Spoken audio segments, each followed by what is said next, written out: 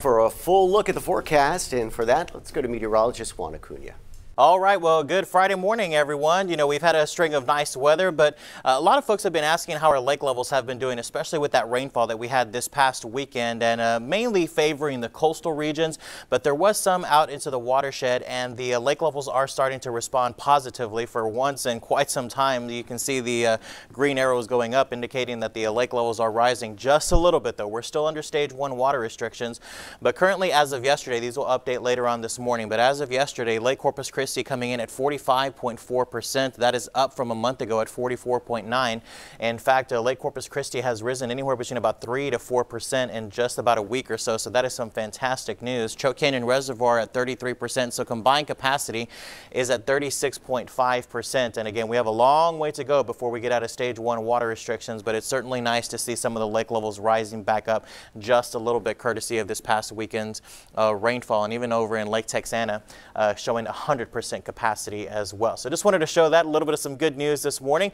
Also some good news is that, boy, it's actually quite cool out there this morning. We're at 60 degrees out at Corpus Christi International with mainly clear skies, light winds as well. Some folks may require a light jacket this morning. You won't need them as uh, you go towards the afternoon. Maybe a light sweater, I should say, but still 60 degrees in May is uh, certainly a treat for us here. As we look at the hour by hour forecast, we'll have a little bit of some cloud coverage to deal with for today, uh, more so than what we had yesterday, even though we had uh, quite a bit, but the sunshine broke through quite nicely.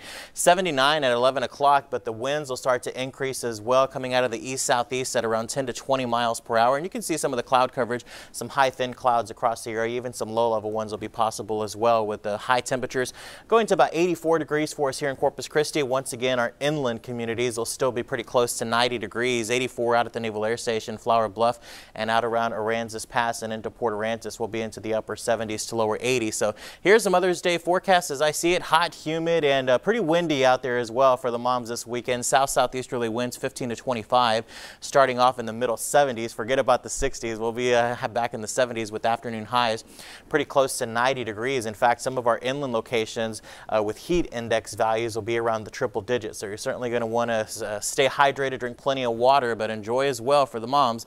Marine forecast slightly choppy. The UV index will be extreme and the seas about 3 to 6 feet, so boaters, mariners use caution. High tide over at Bob Hall Pier 104, 136 out at the Port Aransas Jetty, as well uh, 134 at Nueces Bay, and then 515 out at the Packery Channel. Uh, grass is on the high end for the pollen count for today. Nothing in ragweed. Moderate counts of the tree uh, pollen and mold is on the low end as well. As we look at the wind forecast, breezy for today, but as we go on into Saturday and Sunday, uh, we'll look for those winds winds to be on the Augusta side at around 15 to 30 miles an hour. So 84 today, 86 for Saturday.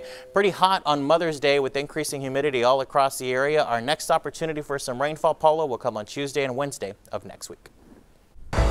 This is the Rebound Coastal Bend, brought to you by Conviva. Visit us at convivacarecenters.com. Well, looking good, Juan. Thank you for that. If you're looking for work, well, Circle K is looking for you. They're hoping to hire employees in the Coastal Bend. The event happening at 9517 South Padre Island Drive from 10 a.m. to 1 p.m. Now, the company is looking to fill part-time, full-time, and overnight positions. The hiring event is open to everyone.